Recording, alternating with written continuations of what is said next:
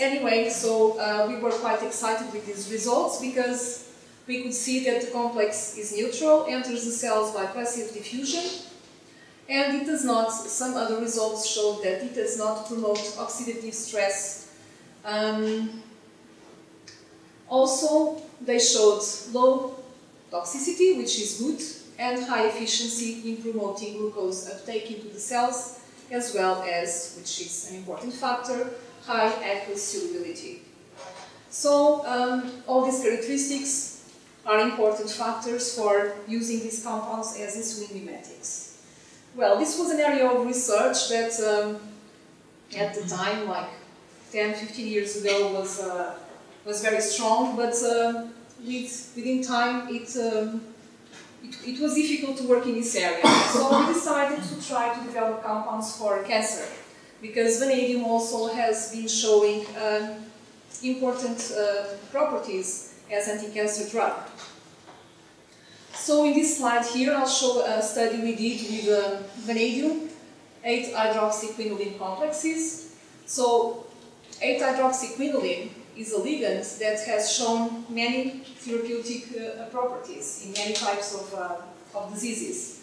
So we thought that maybe vanadium also has showed anti-cancer properties. So the approach was that putting together vanadium and hydroxyquinoline could have a synergistic effect.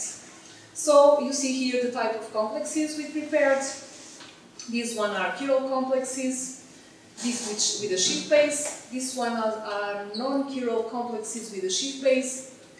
Um, this one has a chloro chlorohydroxyquinoline.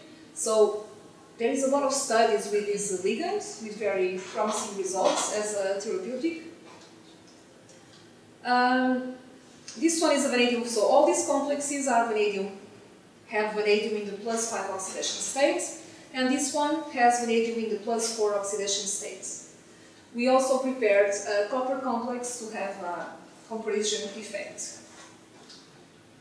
So uh, we characterize the complexes by the usual techniques. Uh, in here we have X-ray diffraction.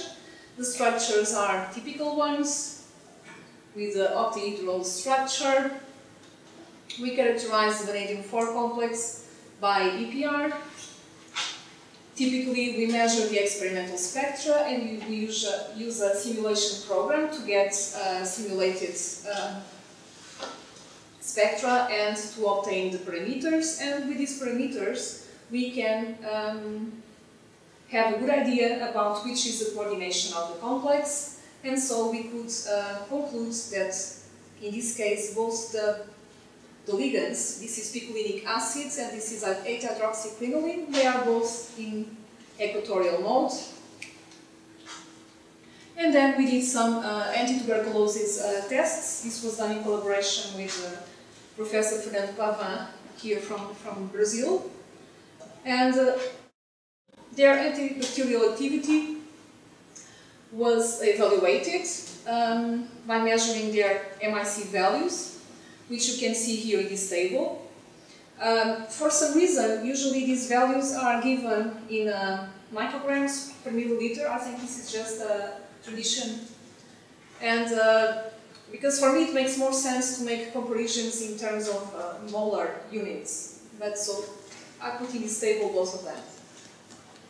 Uh, we, test, we tested the vanadium uh, complexes that are presented, also the ligands, and also some other vanadium complexes, like the picolinic uh, acid complex. This one is uh, derived from deferiprone, and this one with maltol. But you can see here that none of the other complexes that we tested that did not have 8-hydroxyquinoline showed any activity.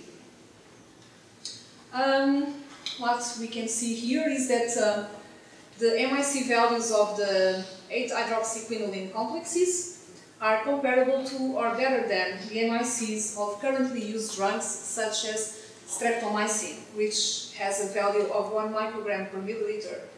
Uh, if we compare the MICs in, in uh, molar terms with the, the values obtained for streptomycin, our complexes are much better than the ones which are being used currently.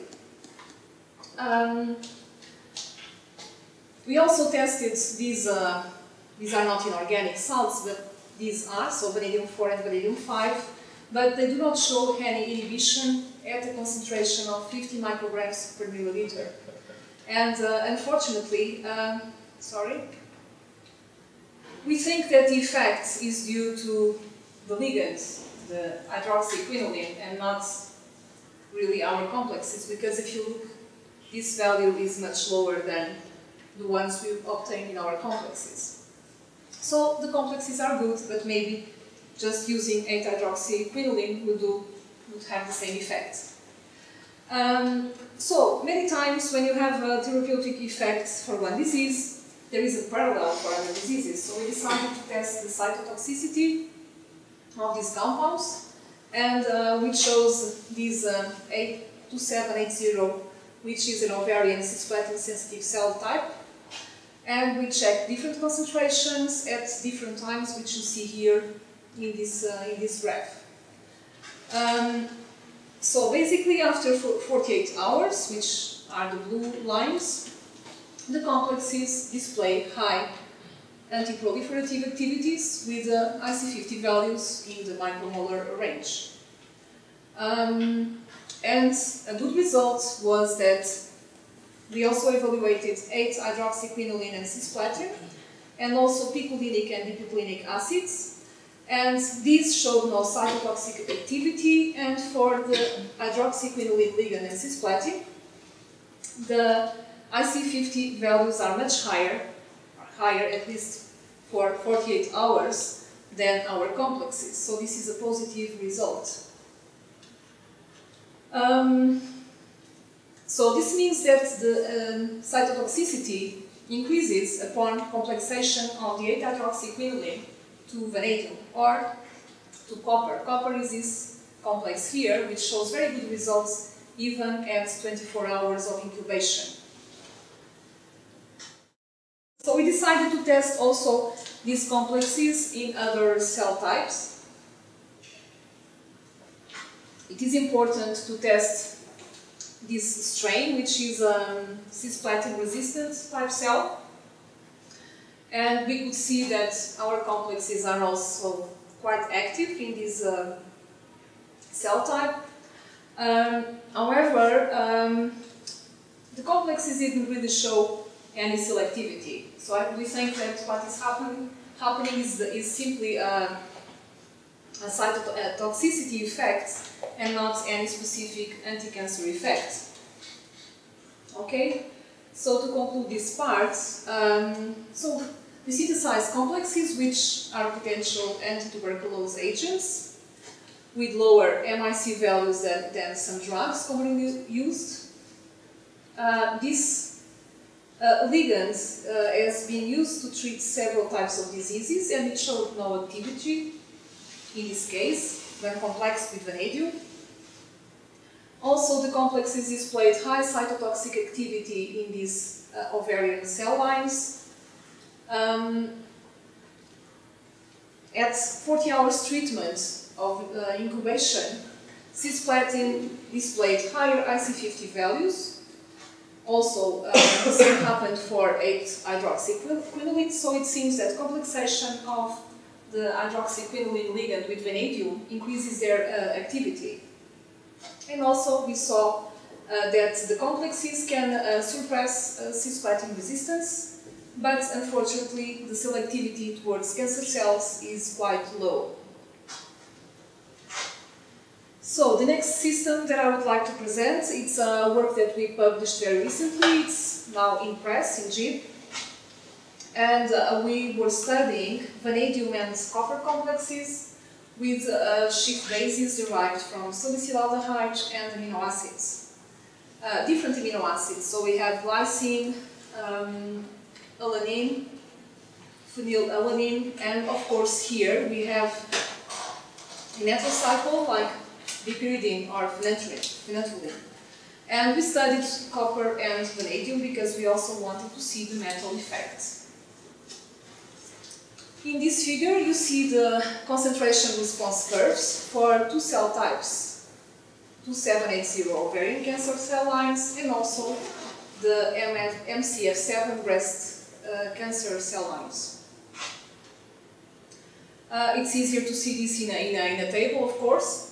And uh, what we can see here is that the copper complexes are much more uh, cytotoxic than the vanadium complexes. Also, uh, we can see that if we compare, for instance, complex 1 and 2, or complex 6 and 7, or 9 and 10, for instance, we can see that the phenanthroline complexes are much more active than the bipyridine complexes. Um, interestingly, the copper complexes, some of them are around, I don't know, tenfold in the case of this one, more active than cisplatin, at least for, for this cell type, and especially for this breast cancer cell line. Um, the higher activity of the phenanthroline complexes when compared with the bipyridine is confirmed with studies that we did with these two cell types, HL60, a woman promyelocytic leukemia cell line, and um, this one, which is a cervical cancer cell. And once again, we could see that phenanthroline complexes are more cytotoxic than bipyridine.